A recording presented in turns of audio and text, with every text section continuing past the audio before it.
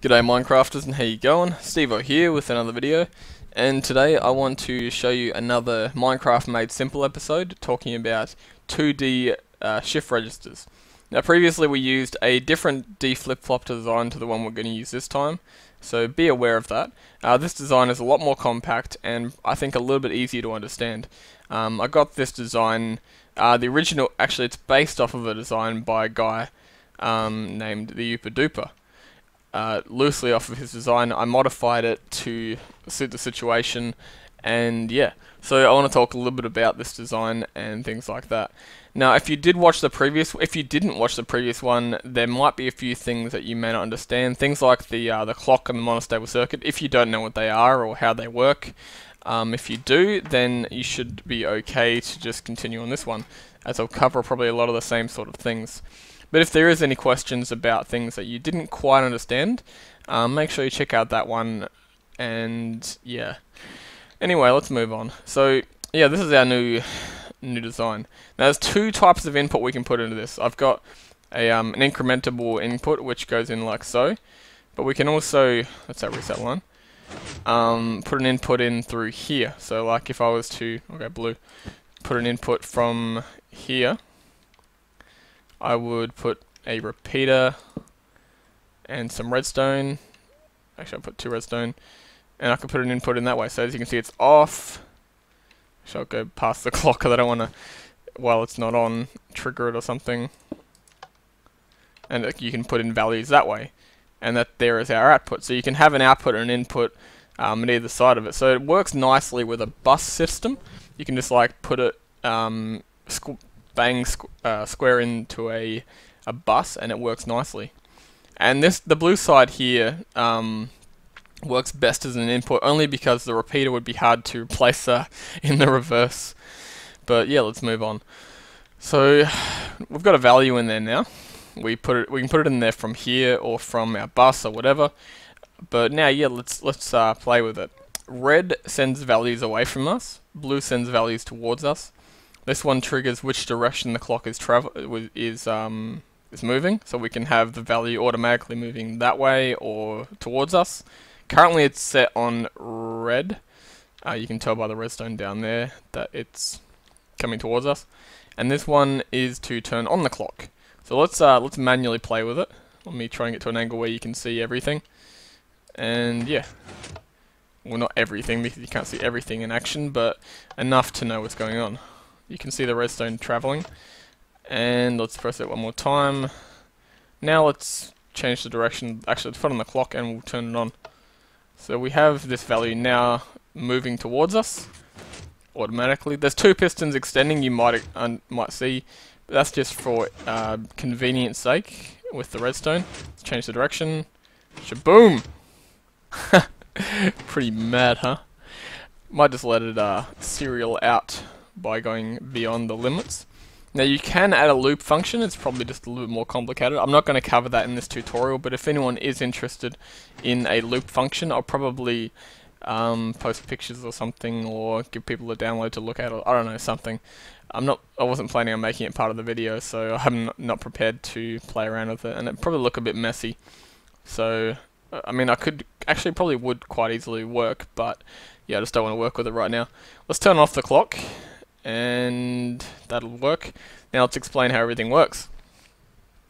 Let's place that redstone on there. So we have here, this is our D flip-flop. The D flip-flop design is almost a geometric shape, like if we had a block there and it, if it finished kind of here-ish, and we would have had a nice looking star almost thing. uh, but it wasn't meant to be. So basically, the D flip-flop, let's uh, reset the value um, stays there because it's kind of like a overload sort of a setup. Um, this piston, uh, sorry, not this piston, this repeater goes into that block, which powers that redstone, which powers that redstone, that one, and goes back into itself. So it's a constant loop where the value will continue to go around, and there's no end to it. So pretty much, um, that's how it stays there. Now the value is reset um, by the piston above.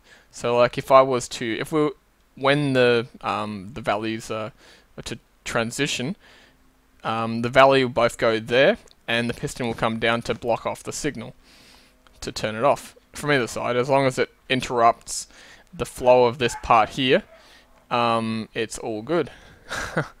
so yeah, so pretty much you've got like for example, you might be wondering why it isn't just doing that. Why because of the uh, the torch there being on, why the value isn't just going to the next point. The reason for that is because of the clock. The clock is the only thing stopping it from going to the next value. So like if we had a clock, if you, yeah we had the clock on, which it it's it is by default actually, um, that stays off. The clocks are on by default, so when they're activated they actually turn off for a brief pulse, and that's how they work. So yeah, that's how the values transition though. So when the uh, the clock turns off, um, depending on which which clock turns off determines which direction. So if um, both clocks were to turn off at the same time, the direct it would probably go both directions at the same time. So that'd be pretty interesting actually. Um, I haven't tested that, but it'd be an interesting concept to watch. So if you had, for example, the value here uh, on, theoretically speaking, uh, if you had both directions on, it would probably go that way and that way, to, uh, if they would the clocks would turn on the exact same time. So yeah. Um, also, uh, not only that, but if the clocks continued to stay on, um, you'd continue to have splits, so you'd probably end up having an overload because this one would go that way and that way, but then on the next tick, that one would go that way and that way, and the other one would go, you know, same thing. So it, would be interesting. So yeah, you have one turn on and and one stay off sort of thing. Well, it on I guess is the default. But yeah, now let's talk a little bit about how to make it. So you, hopefully you understand now a little bit about the concept of how it works. Let's talk about how to make it. So we've got here uh, a basic star almost pattern. Well, actually, not even that. I don't. I don't even know what kind of pattern this would be. It's like a um, a weird looking E thing. If you had another row on top, it'd be like an E, but it's not even that. So, yeah, you've got kind of like a cross thing with a block on top and then two side blocks. So I don't know. That's the, about the only shape I could deduct it to. Deduct it to.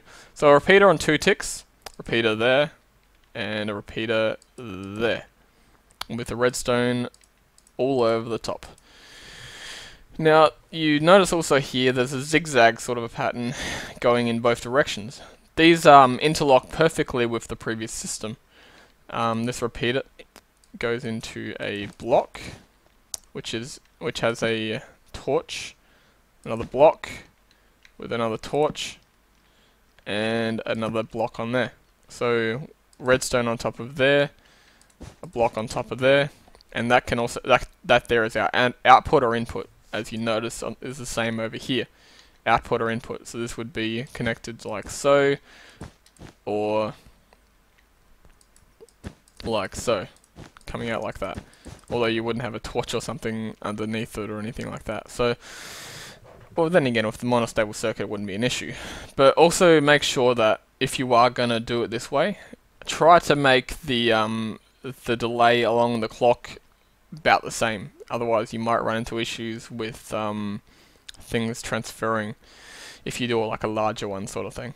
Anyway, let's move on and keep going.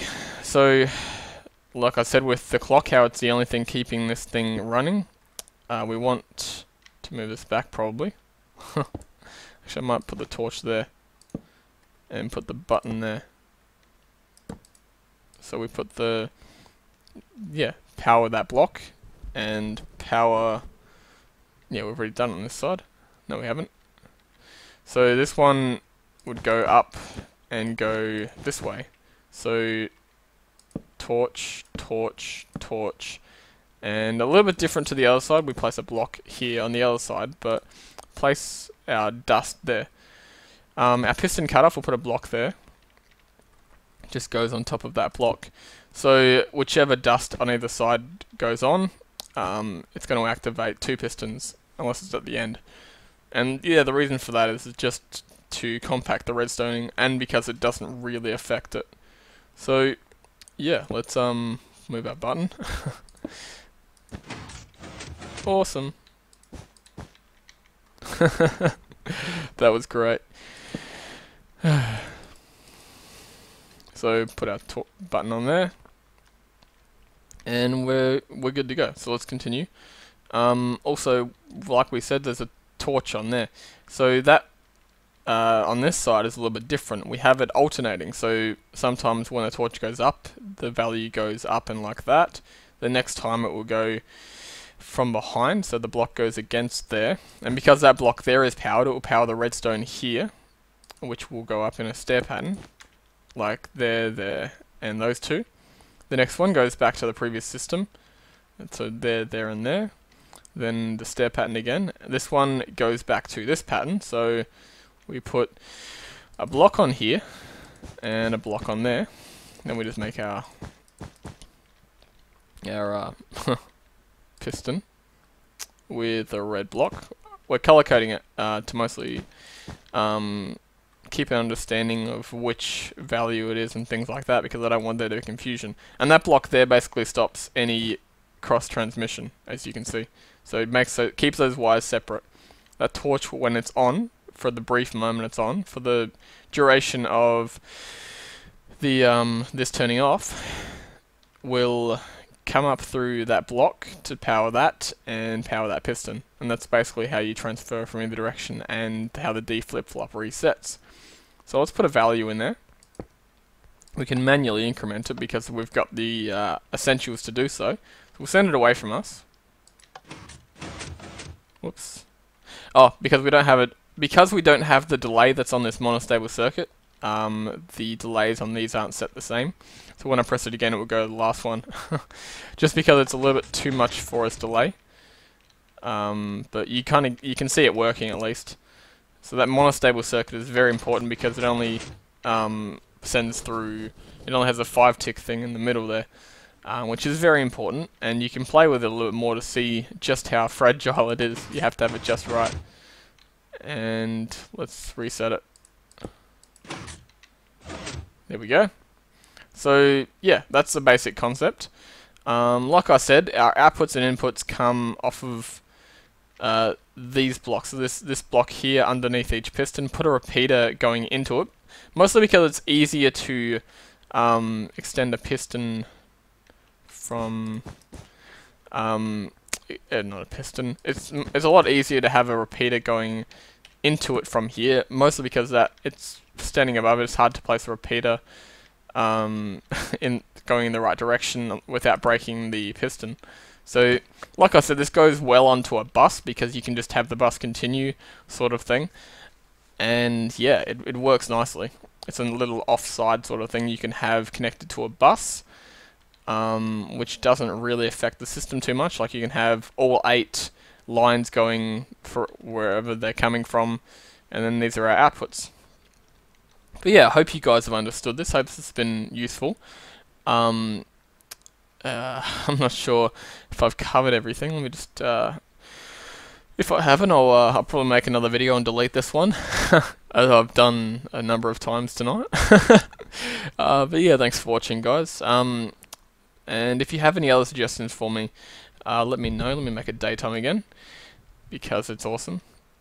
Um, but like I said, eventually, I might have said this in the previous one, I'll have this world up for download eventually when I've finished uh, doing all the advanced tutorials. So like I'll do things like uh, full adders and ALUs and things like that, and hopefully make them a bit simpler. And I'll have this world up for download for people to uh, download and play with, and um, and learn for themselves. But I do appreciate you guys and your support. So um, yeah, keep it up, guys. You guys are awesome. And I'll catch you next time. Alright, see ya. Got a little Swedish there. there. Yeah.